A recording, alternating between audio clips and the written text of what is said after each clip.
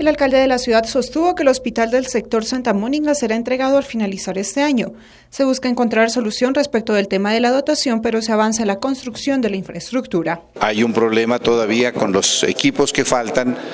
Hay un entendimiento para poder cumplir con un, eh, con un contrato que fue hecho desde la administración anterior, pero que los equipos llegaron antes de que esté el hospital. Lo lógico es cuando uno ya tiene el hospital, contratar los equipos para que estén bien calibrados y estén actualizados.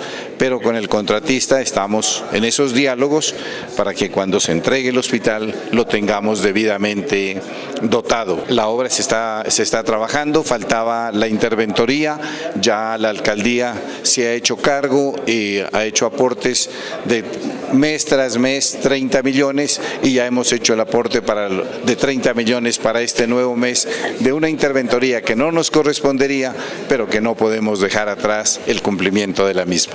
El compromiso fue ir a la par la construcción del hospital con el nuevo centro deportivo. El compromiso grande es con la UDRA que vamos a hacer en Las Brisas. Ese es un compromiso y que lo establecimos el de ladrillo a ladrillo. Nuestra obligación es que cuando se inaugure el hospital se tenga que inaugurar esa cancha. Por fortuna ya tenemos el permiso para poder eh, hacer la reubicación de las torres, que era uno de los problemas graves que teníamos, son torres de alta tensión y no podría haber un, un espacio deportivo bajo las mismas.